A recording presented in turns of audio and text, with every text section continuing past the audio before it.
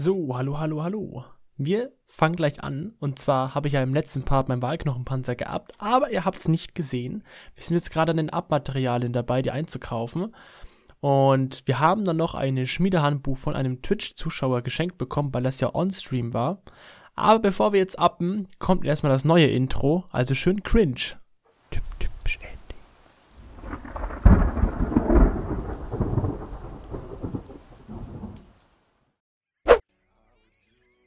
Ach, mit magischen Stein. Ich habe keinen magischen Stein. Markstein ist eben noch. Weil die Vergen Vergoldung, weil gerade Mondsteine so mega So. teuer sind.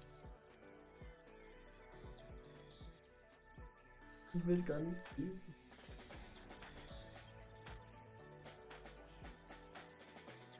Alter.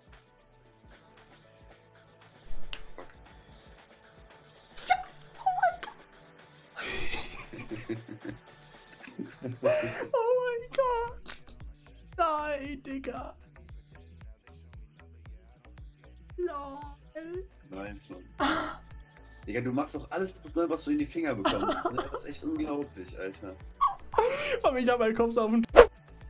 Ja, wie ihr gesehen habt, den Wahlknochenpanzer haben wir auf plus 9 gemacht. Dabei schon sehr glücklich darum gewesen, hab's mir aber auch nicht ähm, nehmen lassen, direkt 6. und 7. Boni draufzuziehen oder halt jetzt erstmal den 6. draufgezogen und den 7. probieren wir jetzt. Ja, habe ich meine Regenbogenfragmente eingekauft. Gott sei Dank sind die Dinger nicht so teuer. Starke Ergänzungen wiederum, die kosten im Item-Shop sehr viel Geld. Circa, also ich glaube, wie viel? 90 DR kosten 5 Stück. Geben mir halt dann insgesamt eine Erfolgswahrscheinlichkeit von 70%, also 10 Fragmente an sich, die sind ja schon bei 20% und dann nochmal ähm, von diesen Ergänzungen 5 Stück davon, dann ist man halt bei 70%. Ist an sich ganz cool. Ähm, auf der anderen Seite sage ich, man, man hätte, man könnte es natürlich auch ohne Ergänzungen reinbauen, spart man sich die Ergänzungen und halt die, die, ähm, die DR dafür, aber du hast ja nur 20% Chance, also pff, dann mache ich es einmal gescheit, mit einer 70% Chance, dass es, dass es funktioniert. Und dann kann man ja immer, also dann sollte, dann, dann klappt es ja in der Regel auch, ne? Habt schon manche gehabt, die haben da richtig verkackt, auch mit 70% Chance. Naja, wir fangen jetzt an, das Ding zu bonieren und hoffen einfach mal, dass was, dass wenigstens ein Boni bei rumkommt. Denn wir sind jetzt schon nämlich am Tag, dauert er 24 Stunden. Und da holen wir jetzt mal den Wahlknochenpanzer ab. Und dann schauen wir doch jetzt einfach mal, was für Bonis wir da drauf bekommen haben. Also geklappt hat es schon mal.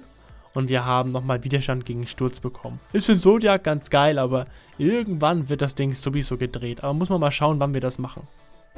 Ja, was man jetzt hier noch sehen kann, ist mein Vaso einfach, der noch mit ähm, Nexus auf der ZR-Map ist.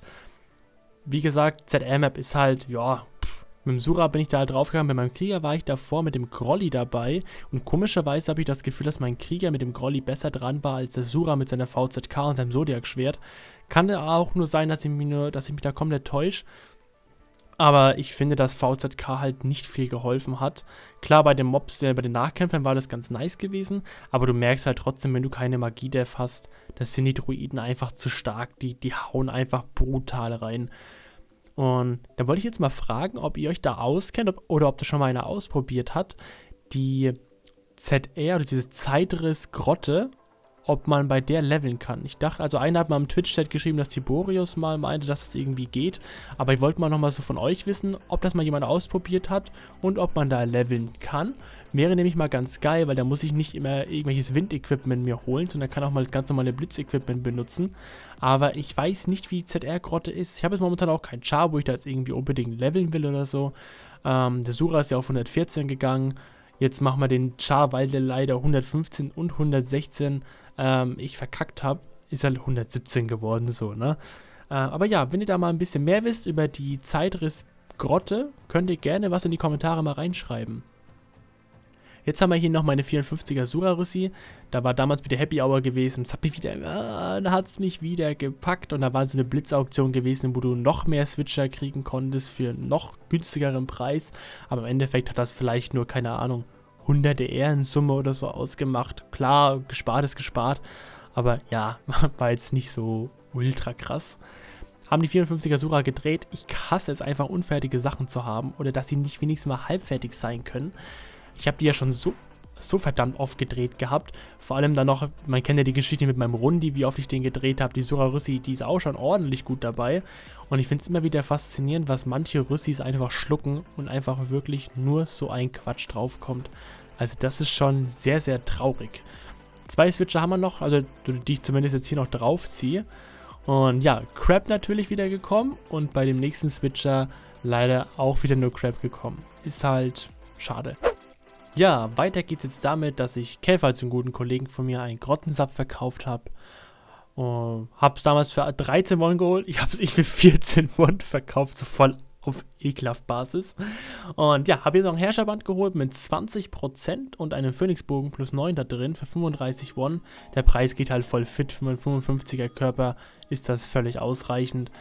Und jetzt komme ich hier zum ekelhaftesten Teil. Also da bin ich ja letztens... Ah oh Gott, das war ja...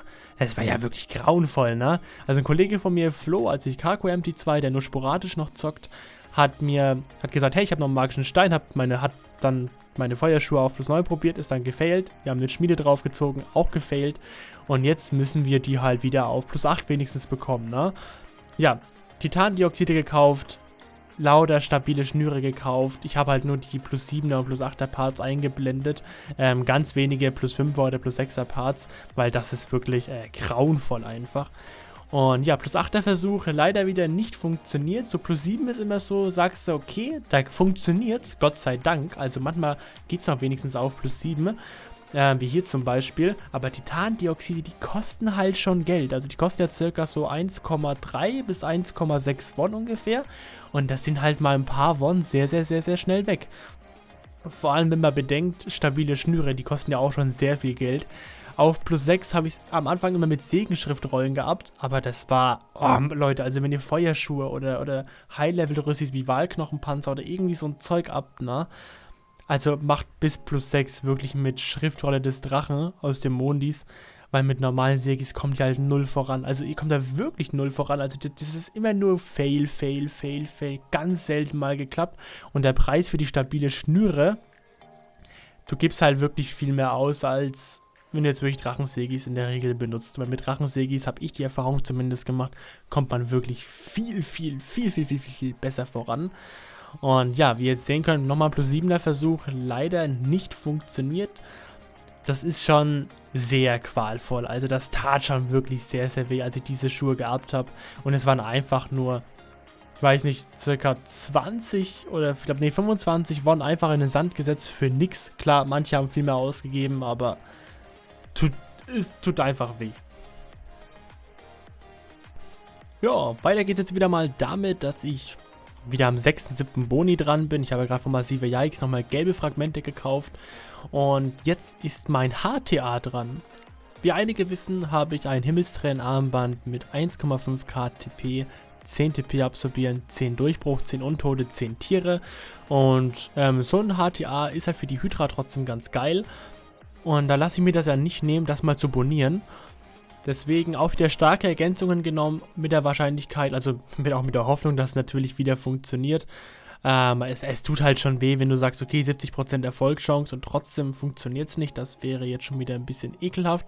Aber wir probieren es jetzt einfach mal und wir schauen mal jetzt gleich, was draufkommt. Jetzt sind wir im nächsten Part und wir holen es ab und wir haben Widerstand gegen Blut drauf. Natürlich gehe ich auch so ein bisschen mit den Gedanken rein, hey, vielleicht habe ich ja so viel Glück, dass ich auch irgendwie so 20, 30 AW oder vielleicht sogar 50 AW bekomme oder mir stark gegen Metinstein 6, 7, 8 Prozent. Das wäre auch schon was ganz Geiles, weil viele haben ja, also gibt ja irgendwie einige, die haben ja das Glück, dass er ab und zu mal 7 stark gegen Metinstein oder Angriffswert drauf bekommen. Würde ich auch mal gern haben, das Glück. was krieg ich? Blut. Geil. Aber egal, wir holen es jetzt wieder ab und schauen mal, was wir bekommen. Okay, also es hat schon mal funktioniert, das ist ja schon mal eine ganz gute Sache. Und jetzt gucken wir mal, was kriegen wir? Okay, Gift. Ja, das ist so geil. Die anderen kriegen so stark gegen Metin und ich krieg Gift und Blut. Geil. Ja Leute, das war's jetzt mit dem Video. Bitte nicht wundern wegen den Namensänderungen.